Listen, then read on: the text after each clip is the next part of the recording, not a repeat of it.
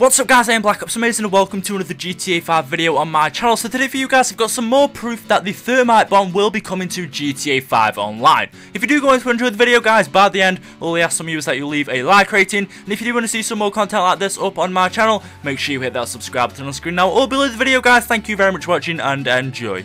So just after the 1.16 update came out, everyone's musket in GTA 5 was actually removed from the game. Tell me if this happened to you in GTA 5, but like I said, when the 1.16 update DLC came out, the latest Flight School DLC came out, the musket was removed from the game, and then Rockstar added it back in just a couple of days ago, but when they added it back into the game, they actually made a mistake. Now if you take a look on the weapons wheel, take a look at the musket, and this will be a little bit blurred, but you can go on your game and check it out for yourself. You can see just above the musket, there seems to be a cutout of another weapon. They actually haven't properly cut the musket out and what they've done is added on half of a different weapon. Now if we go to this image, this is from the in-game coding of GTA 5. These are all of the weapons well, sorry, some of the weapons in GTA 5, and these images will show up on your inventory wheel. These are the images of the weapons that will show on your inventory wheel. But if you take a look at the musket, it's the exact same image as the one I've just shown you from the weapons wheel. But if you take a look above the musket,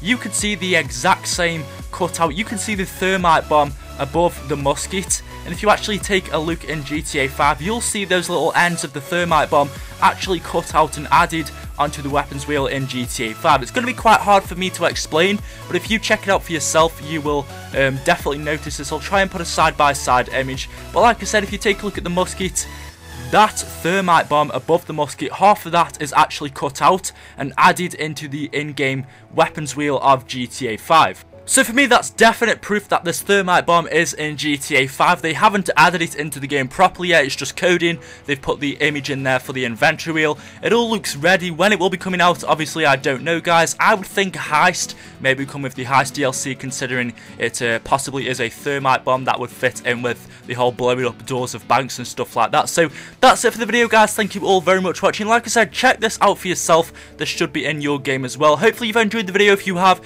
make sure you leave a like rated. If you do want to see some more content like this up on my channel, make sure you hit that subscribe button on screen now or below the video, guys. Make sure you follow me on Twitter. Thank you for watching, and until next time, peace out.